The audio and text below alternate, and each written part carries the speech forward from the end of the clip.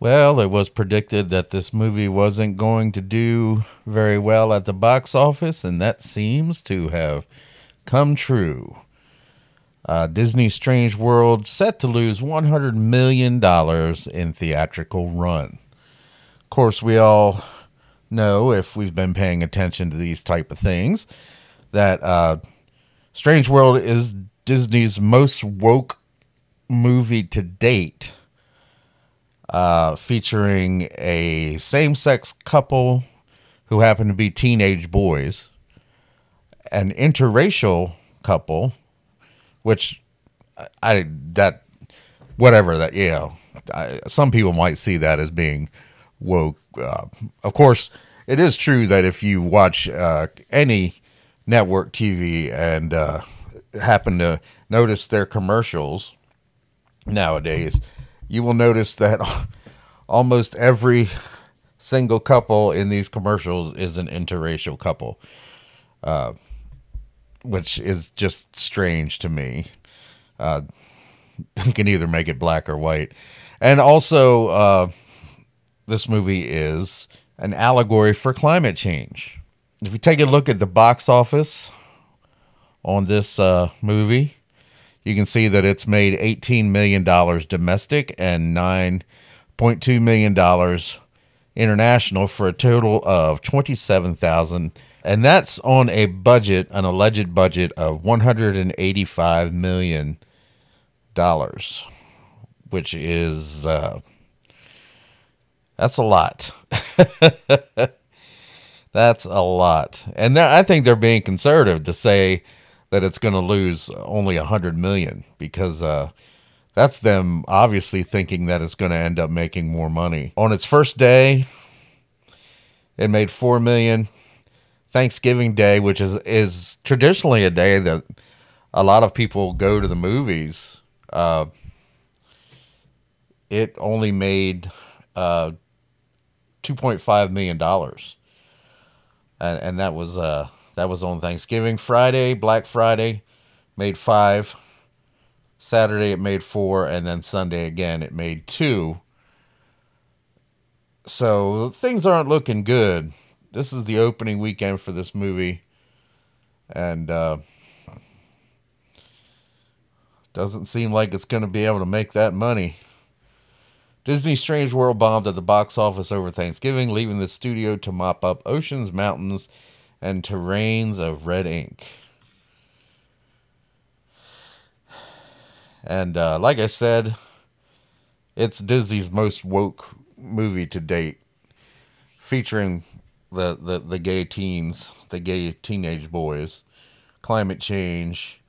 It's just basically uh, look at us, look at what we're doing. You see on Rotten Tomatoes, uh, it's got a 60% audience score, which is uh, has actually gotten better. 500 plus verified ratings, and that's a 74% critic score, uh, which is not not good for a Disney movie because critics usually uh, usually fall over themselves to give Disney movies a good rating. Strange World is a Disney milestone in terms of representation. But as a storytelling experience, this dazzlingly animated adventure offers little audiences haven't already seen. So, it's not looking good for uh, Disney on this one. A hundred million dollars, even if it is a hundred million, which to me it seems like it's it's going to be more. And it, this is just uh, the the movie's budget it has nothing to do with any type of advertising or anything else promotion that uh, Disney put into it. Which I didn't see a lot for it. I didn't see much advertisement at all. As a matter of fact, I hadn't even heard of it until people started talking about it online. So it's kind of weird that they would make this movie with all its representation and, and everything else and uh, then choose not to promote it. Almost like they're ashamed of it. let's take a quick look at Black Panther.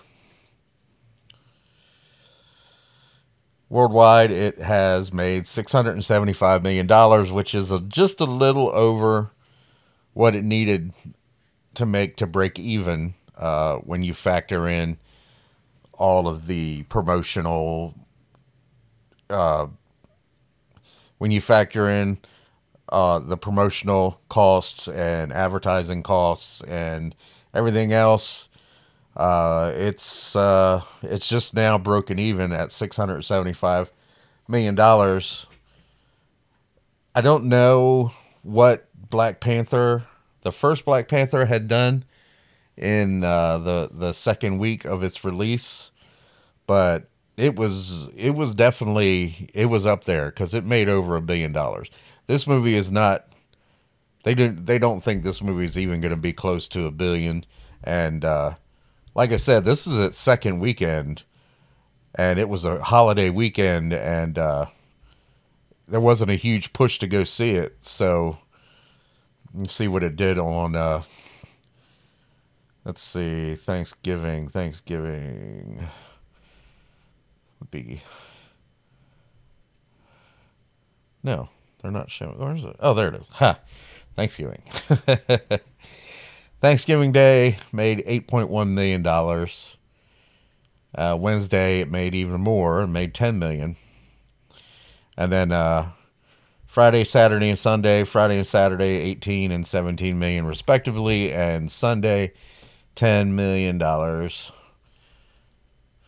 So it's definitely winding down. People that have seen it uh, are not going back to see it and uh, people that haven't seen it probably aren't going to be seeing it. So uh, that's another. That's more bad news for Disney. Seeing uh, the fact that that uh, Black Panther just barely broke even.